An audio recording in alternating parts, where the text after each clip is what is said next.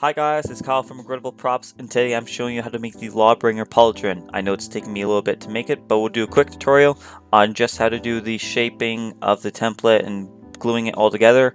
I'm not going to be going through any of the painting or sealing process or Dremel work. You guys can obviously take that into your own liberty for doing it. I've done many videos in regards in the past, or at least segments from videos going over that part. So anyways, I'm just going to be showing you how to make this pauldron. Anyways, I'm going to be providing the links in the description to where you can download the templates as well as the list of materials, but for sake, I'm only using hot glue and 5mm craft foam or floor mat foam. You're going to want to trace the left side onto the template and then obviously, sorry, trace the left side onto your foam and then obviously flip it over for your right side. And then once you have that traced out, you're obviously going to cut it all 90 degrees. There's going to be no 45 degrees cuts on this template. So then once you have it all cut out, you're going to heat it up using either like a toaster oven on broil setting or a heat gun or a blowtorch. It A helps seal the foam and B helps us shape the foam by allowing us to bend it and holding it into like a curved shape until it cools and then that makes it easier for hot gluing the pieces together. Obviously use contact cement. I don't have very good contact cement brands near me so I just use what I have and is readily available and that's hot glue.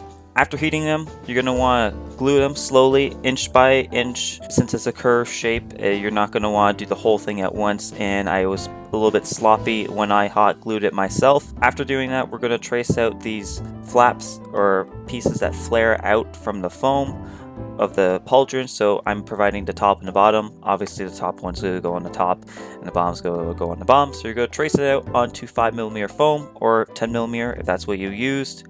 And then you're going to place it on top of the foam. You're not going to put the edge against the edge you're going to place it on the top of the foam if that makes sense to you and once you have everything glued, this is what the final shape is going to look like. Obviously, you can go further with this, adding spikes, round pieces, faux rivets, uh, you name it. Obviously, cleaning up that seam, using like Kwik Seal, dremeling, sanding off the texture. There's many further steps that you could take this. Obviously, I was just doing this really quick to get the templates out for you guys. So you here you guys can see it, what it looks like with my helmet. The dimensions of this template from the width from the two edges is approximately 10 inches and from the top of the flap to the bottom of the flap it's about 9.5 to 10 inches to give you guys an idea.